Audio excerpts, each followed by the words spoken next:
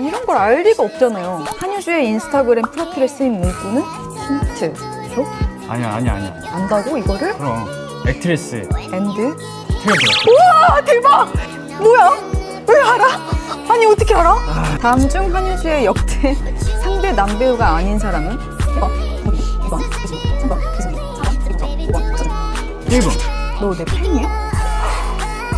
솔직히 얘기해봐, 너 내 찐팬이지? 아니 이게 말이 안 되잖아요 이게 고맙습니다. 이렇게 이거- 또, 야 너 귀 빨개지고 있어 지금 귀 빨개졌어 누나 저 빨리 잘라주세요. 컷.